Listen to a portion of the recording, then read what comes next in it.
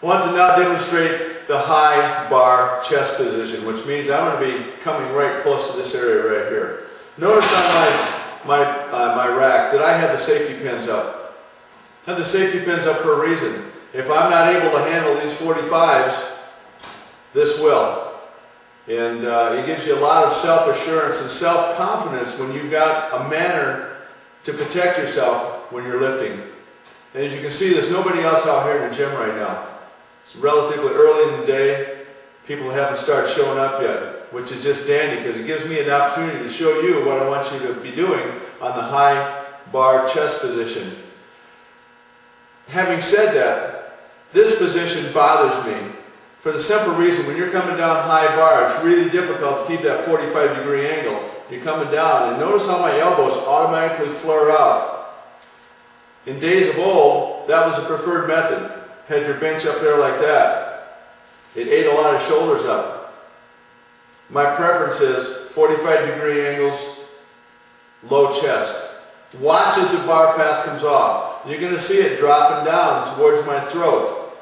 And I'm going to have to force it to get there because I'm not used to lifting in that position at all. It's not a favorite position and it's not one that I teach but it's one you're going to see in some of the uh, strength magazines. Let me correct, not the strength magazines. You will see this in the bodybuilding magazines.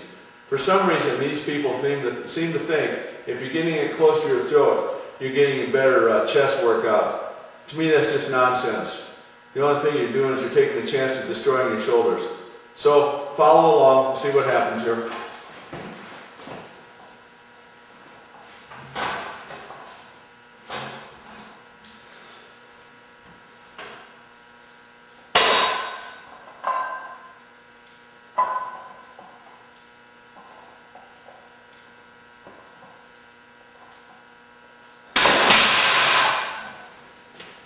Needless to say, I absolutely hate, detest, can't stand, and if I could think of more words right off the top of my head, I would.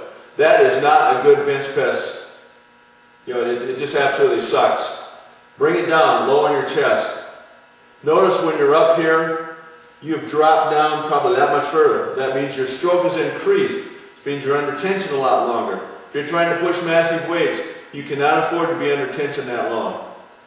What I just demonstrated was the high bar bench press position.